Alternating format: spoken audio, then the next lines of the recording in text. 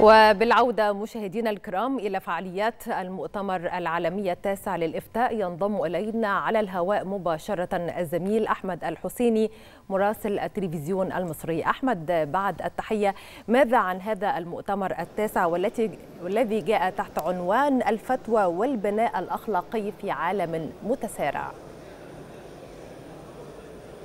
بالفعل دينا الفتوى والبناء الأخلاقي في عالم متسارع. كان هذا هو شعار الدورة التاسعة من فعاليات هذا المؤتمر وهذه الفعاليات التي تنظمها دور هيئات الإفتاء في العالم برعاية كريمة من الرئيس عبد الفتاح السيسي أقيمت الفعاليات أو بدأت الفعاليات في العاشرة صباحا بجلسة افتتاحية تحدث فيها مجموعة من المسؤولين من دور الإفتاء على مستوى العالم. نحن نتحدث عن أكثر من 100 دولة مشاركة سواء من المفتين أو الوزراء. أو المؤسسات الدينية في شتى أرجاء العالم العربي والإسلامي. هذا المؤتمر يقام على ثلاث محاور.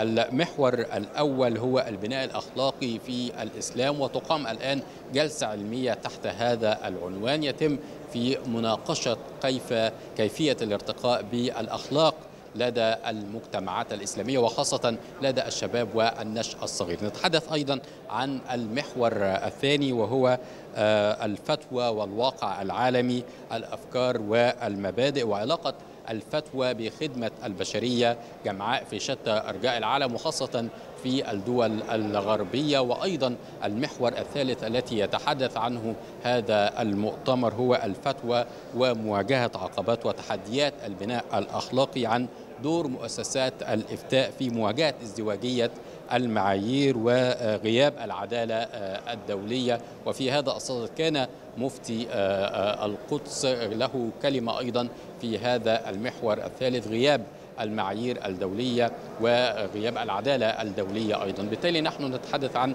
فعاليات مؤتمر مستمرة على مدار نعم. يومين اليوم وغدا بإذن الله. هناك مجموعة من الورش المصاحبة لفعاليات هذا المؤتمر. نتحدث, نتحدث عن ورشة لاستخدام الذكاء الاصطناعي في العلوم الشرعية والإفتاء بالإضافة إلى رصد إشكاليات المحتوى الديني في المنصات الرقمية. ما زالت الفعاليات مستمرة. ننقلها لكم بالصوت والصورة نعم أحمد يعني أطلق المؤتمر مجموعة من المبادرات العالمية والتي تحث على مواجهة الكراهية والإسلاموفوبيا وغيرها من التحديات التي تواجه الدين الإسلامي الحنيف ماذا عن هذه المبادرات؟